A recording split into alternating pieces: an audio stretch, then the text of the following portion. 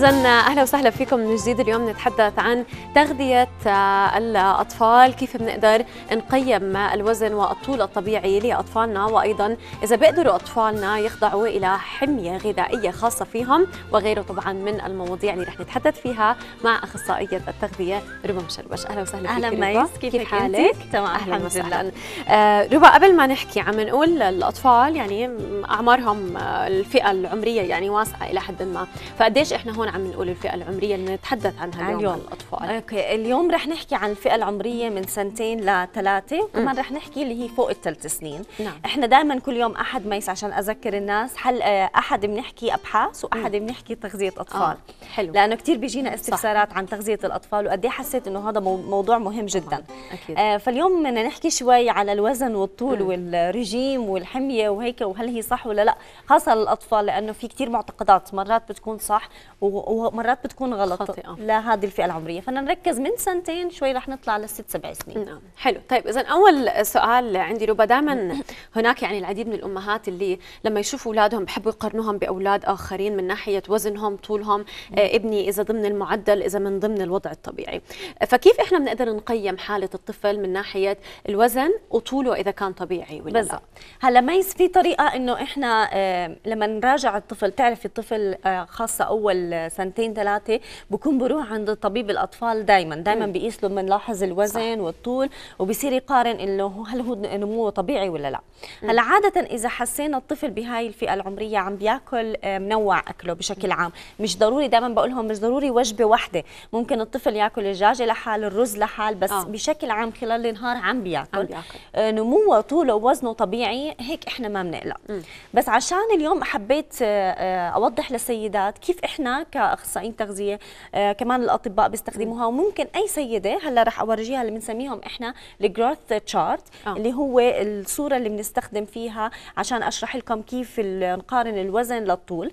هلأ هاي بنقدر ننزلها من الإنترنت. عادي بتقدري تكتبي آه. انت ال growth chart للأطفال من عمر لكذا هلأ رح أوضح في فرق بيناتهم. وبتقدر الأم كمان تستخدمهم م. عشان هي تشوف وين ابنها بالضبط. هلأ رح أعطي مثال. okay.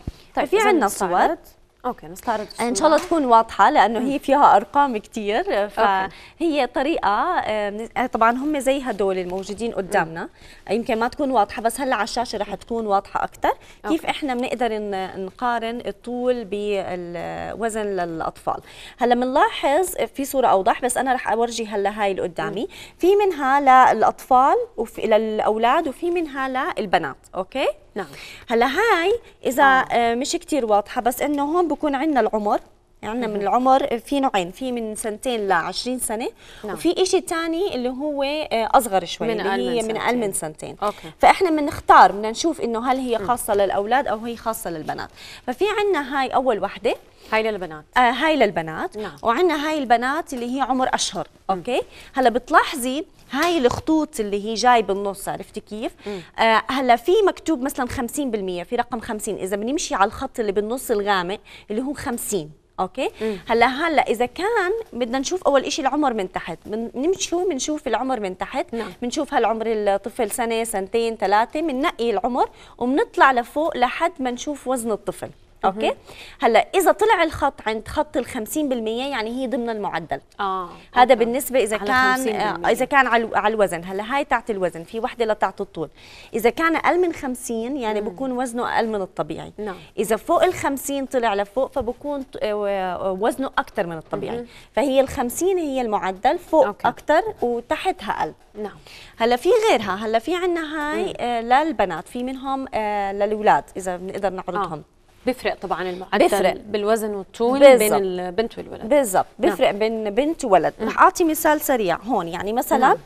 آه okay. هلأ عندنا هاي هاي من عمر سنتين ل 20 سنة آه. صح؟ سنتين ل 20 سنة وهي صح. هاي كمان للبنات. نعم. هلا هاي إلها دخل إيش مكتوب؟ ال- الطول صح؟ ال stature؟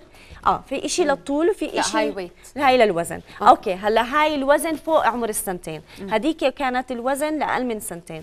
هلا هذه بتقدر تنزلها من الإنترنت الام إذا هي حابة أو من عند أي أخصائي تغذية بنقدر إحنا نعطيهم إياها.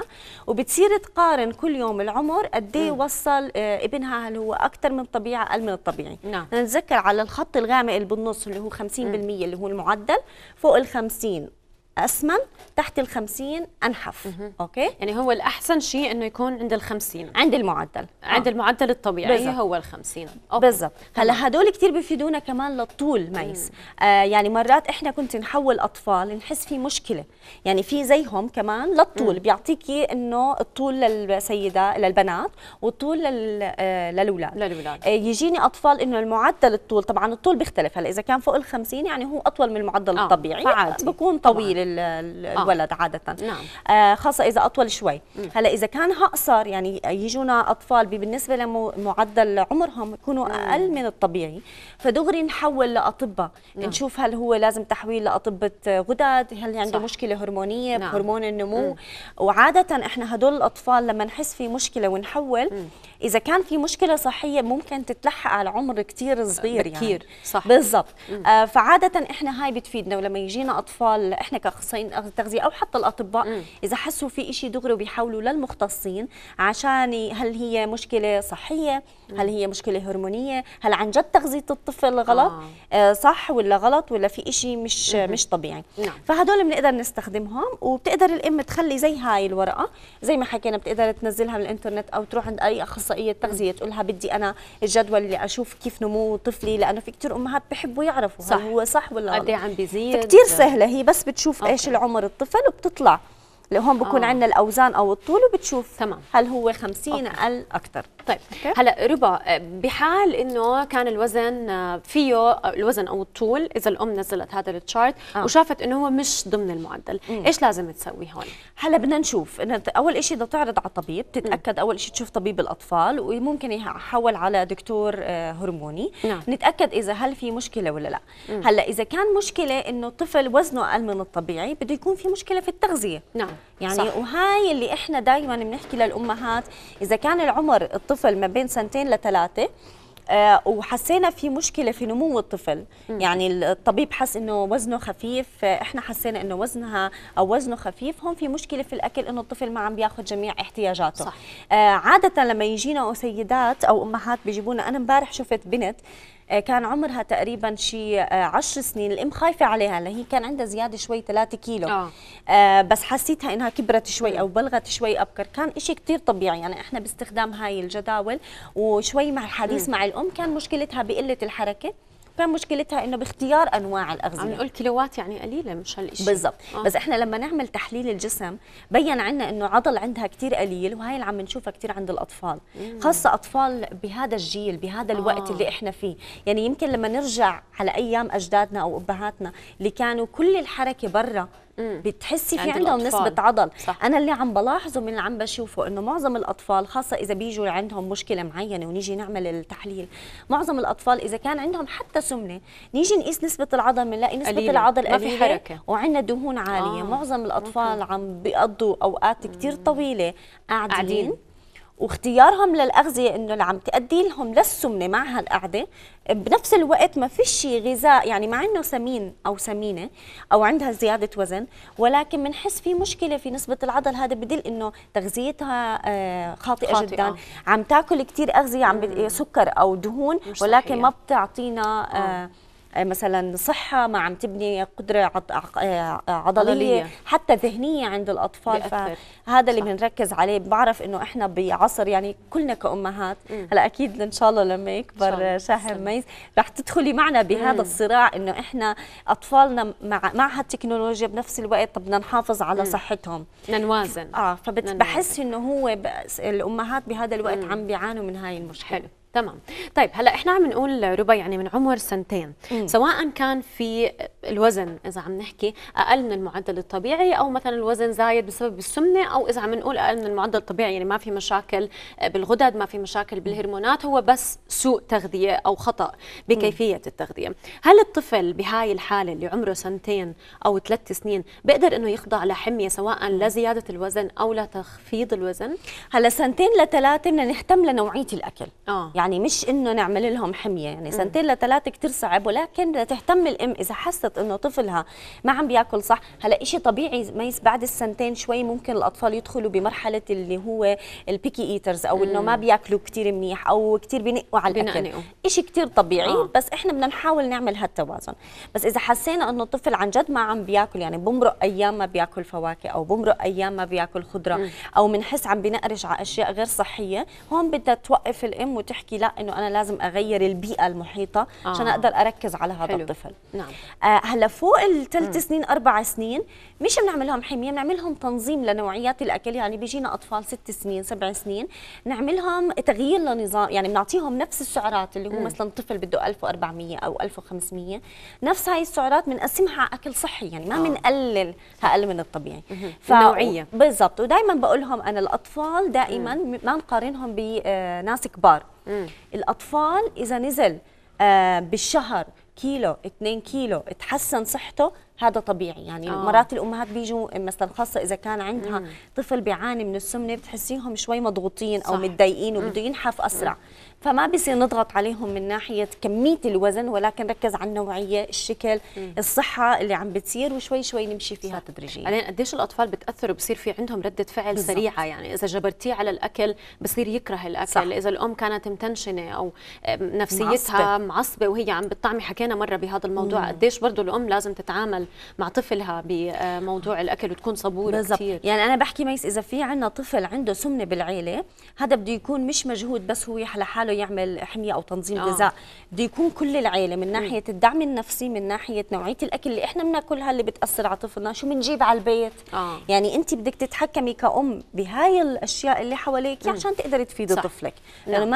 ما نعاملهم ككبار. كثير صعب. صح. أكيد طيب إذا بدنا نحكي عن الحصص الغذائية اللي بيحتاجوها. الأطفال عم تقولي تقريبا المعدل 1400 سعره على حسب. الاحتياجات. حسب الاحتياجات طبعا, طبعا. فإيش هي الحصص الغذائية اللي بيحتاجوها أطفالنا أكتر هلأ رح؟ نحكي من سنتين لثلاثة بمجموعة الحليب أوكي. عادة الحصة الواحدة بتختلف عن الكبار يعني من سنتين تل- لثلاثة نص كوب من هذا الحليب يعتبر حصة واحدة يعني تقريبا 120 140 ملي نعم. okay فهو الطفل بده ياخذ من حصص الألبان تقريبا من أربعة لخمسة من عمر سنتين لثلاث سنين. يعني أربع حصص أربعة لخمسة okay. يعني ما يعادل كوبين زي هدول ونص أو كوبين. أها بكون أخذ احتياجاته من ناحية كالسيوم وفيتامين دي وما أثر على امتصاص الحديد يعني ما يكون الحليب زيادة عن اللزوم آه هلا انت هون لسه إحنا ما عم نحكي ولا عن لبنة ولا عن جبنة ولا عم عن نحكي غيره. على كمية حليب حليب بس. بالضبط okay. okay, okay.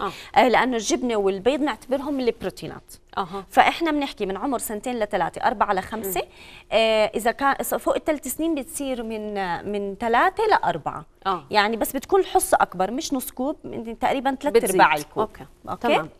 هلا ننتقل للكم. ال ال بس أنا جبت معلقة عشان أوضح آه. هلا إذا في عندنا رز نشويات لا هذا الصحن هذا الصحن أنا كثير أصفر في شيء آه. زيت فيه هلا هذا الصحن كثير بيساعدنا لكمية ال ال الأكل اللي بنقدر نحطها للطفل آه. okay هلا من عمر سنتين لثلاثة كهذا الصحن إذا حطينا ثلاث معالق من رز فريكة آه معكرونة يعتبر كافي ثلاث ملاعق اللي هي كبار. حصة واحدة. okay. هو تقريبا من النشويات بده ثلاث حصص. مم. يعني إذا أكل ثلاث معالق بهاي المعلقة من الرز على وجبة الغداء وأكل واحد توست أو نص رغيف الصبح ونص رغيف المساء أو شوية corn flakes أو حبوب إفطار بهاي بهذا الصحن ثلاث مرات يعني على فطور غدا عشاء أخذ. حصصه. okay. بالضبط. فالحصص شوي أصغر ككمية للأطفال. وناخذها قاعدة ثلاث معالق كافي. إذا الطفل بده كمان بنحط له يعني نخلي الطفل يقول لك أنا جوعان أنا بدي كمان. مم. عشان أول إشي إحنا بنحس مرتاحين كأم. وتاني إشي إحنا بنكون عارفين احتياجات الطفل. okay. فناخذها قاعدة ثلاث معالق حصة. إذا كان رز. فريكة معكرونه آه خاصة على وجبة الغداء. حلو. تمام. okay؟ هلأ نيجي للخضار والفواكه. مجتمعين تقريبا ثلاث لأربع حبات من خضار وفواكه يعتبر كافي للأطفال من عمر سنتين لثلاث سنين. ثلاث أربع حبات بين خضار وفواكه. مع بعض. إذا وصلت لخمسة أها. كثير منيح. okay. بس الحصة بتختلف. إذا نيجي لخضرة مطبوخة يعني مثلا إحنا بنحكي دائما نص كوب من الخضار المطبوخة آه آم، آه للكبار حصة واحدة. آه مثلا طبخين ملوخية بامية فاصوليا هاي. ناخذ ثلاث معالق كبيرة برضه بنرجع لمبدأ المعلقة. المعلقة. تعتبر حصة من الخضار. أوكي؟ قطعنا للطفل آه، في عنا هون خيارتين حجمين. الحجم الصغير زي هيك مثلا من سنتين لثلاثة حصة. هاي شوي تعتبر أكبر يعني إذا الطفل أكثر اكل الحجم الكبير يعني يعتبر أخذ أكثر شوي من الخضار. فإحنا بنحكي لعمر سنتين لثلاثة الحجم الصغير. إذا أكبر بنقدر نقطع لهم أي خضار ثاني أها. بس إذا أكل الطفل بمعدل خضرة مطبوخة أكل شوي مثلا خيار مقطع الصبح وشويه جزر بالليل يعتبر كتير منيح أو أي نوع خضار ثانية الفواكه آه، آه، نص مثلا هاي حبة التفاحة كبيرة الحبات الصغار الأصغر شوي تعتبر حصة واحدة أو نص حبة مثلا نص حبة مانجا آه. نص حبة تفاحة هاي okay. حصة واحدة أها. يعني إذا أكل موز صغير الصبح ونص تفاحة هي منيح من عمر سنتين لثلاثة إذا أكل مثلا عنب شي كمشة مثلا ست سبع حبات منيح. موز أخد صغيرة كفايته. أخذ كفايته بس كفايته. هون الشطارة شوي الأم تحاول تنوع بأنواع الفواكه, الفواكه، صح. آه عصير إذا بدنا نحاول نقدم يكون عصير طبيعي كوكتيل من عصائر. يعني بدها تكون شوي ما بدها تشد نفس الوقت تحاول تفكر إيش تقدر كيف تقدم تدخل ال- الأكل برضه بطريقة ذكية يعني على الغداء الخضرة بيكون هون أخذ كفايته خصوصا زي ما حكينا في هناك كثير من الأطفال الأهل بيكون كثير عندهم مشاكل إنه كيف مثلا إذا بتعطيه تفاحه زي ما هي ما بيأكلها ما بيأكلها. إذا بتعطيه إياها بشكل آخر ممكن آه، في ناس بحبوها يأكلها. مهروسة شوي أو صح. مقطعة قطع صغيرة يعني بدنا نكون شوي آه أكيد. بهذا الموضوع منتبهين أكيد طيب ربا معلومات كثير مهمة اليوم اللي قدمتي لنا إياها شكرا لك. كثير. يعطيك العافية. أهلا وسهلا. فيكي شكرا آه، للمتابعة ما تنسوا تشتركوا بالقناة لحتى تتابعوا كل شيء جديد